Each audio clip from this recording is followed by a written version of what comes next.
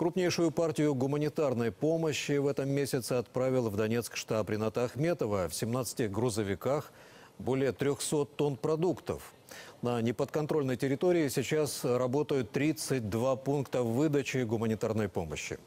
Доставляют наборы выживания также адресно. Репортаж наших корреспондентов.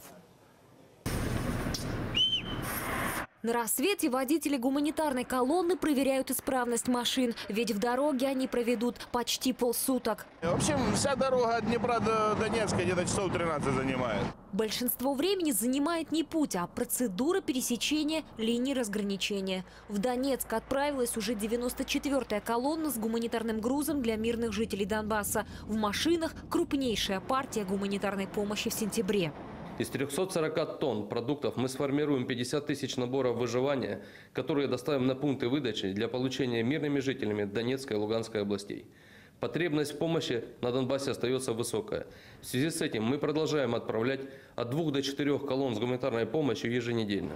Фуры с загруженным маслом, мукой, овсянкой, крупами, сахаром везут паштеты и консервы. Из этих продуктов волонтеры на Донбасс-арене сформируют такие наборы выживания.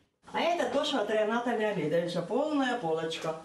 Нине и ее мужу Виктору продуктовые наборы доставляют адресно. Волонтеры приносят помощь слепым инвалидам раз в месяц. Эти продукты нам помогли управиться даже с долгами по зарплате. У меня оставалось где-то 400-500 гривен, и я их потратила на оплату квартиры, а на эти продукты мы прожили год.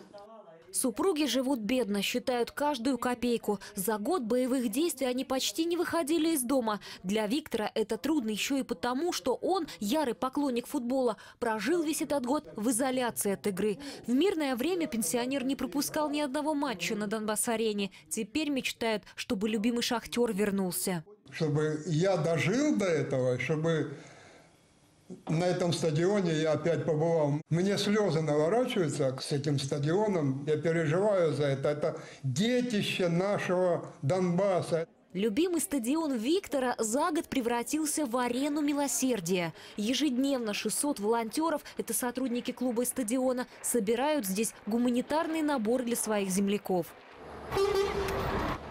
Завтра из Днепропетровска отправится еще одна колонна с продуктами. На этот раз гуманитарную помощь доставят в Мариуполь. Часть раздадут переселенцам, остальное мобильная бригада волонтеров доставит в отдаленные населенные пункты на линии разграничения. Юлия Меньшакирова, Данил Киреев, Владимир Конопля, телеканал «Донбасс».